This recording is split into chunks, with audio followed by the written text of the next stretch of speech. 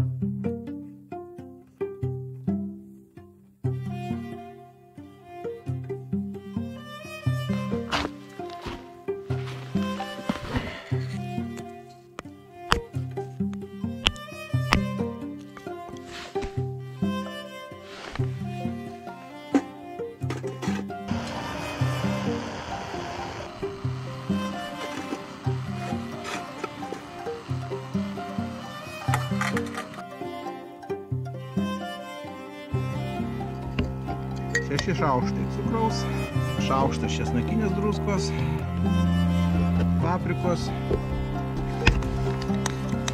kajano, šaukštelį valgomai ir pipiriuko paprastai. Šaukštelį. Valgomosios druskos. Visą tai išmaišom.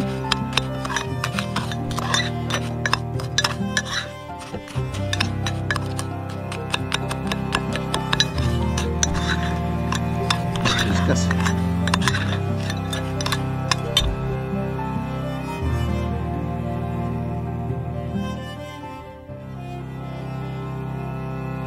Viskas.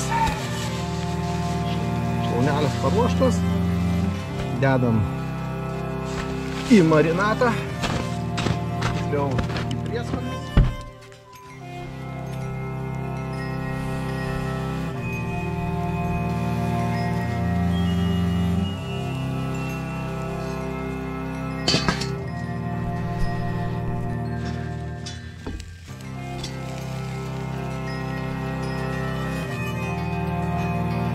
Iškepa pagaliau.